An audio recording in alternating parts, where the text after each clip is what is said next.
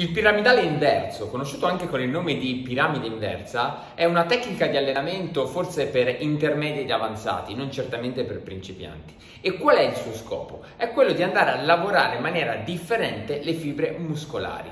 È praticamente il contrario di un classico piramidale. Esempio banale, quando si parla di piramidale classico si intende ad esempio un 12, 10, 8, 6 che sono le ripetizioni da compiere in un determinato set e ovviamente man a mano che il numero di ripetizioni sale, quindi da 12 si va verso 6, il peso aumenta. Ora, cosa succede in questa fase? Chiaramente le fibre muscolari si affaticano man mano che si scende da 12 in progressione verso 6 e quindi la sesta ripetizione, o meglio scusate, la, l'ultima serie che porta le, alle 6 ripetizioni chiaramente sarà molto affaticata, le fibre bianche saranno poco eh, ca- chiamate in causa perché già stancate, addirittura fino a un 50%, pensate un po'.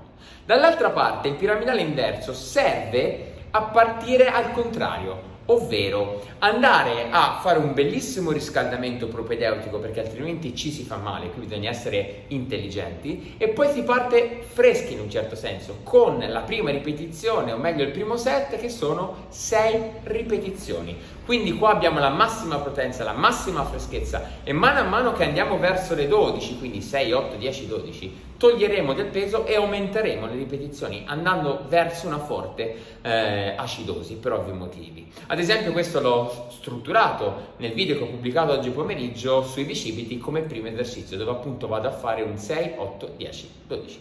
Questo ragazzi per concludere è una tecnica sicuramente molto efficace ma come sempre va contestualizzata nel vostro momento più giusto.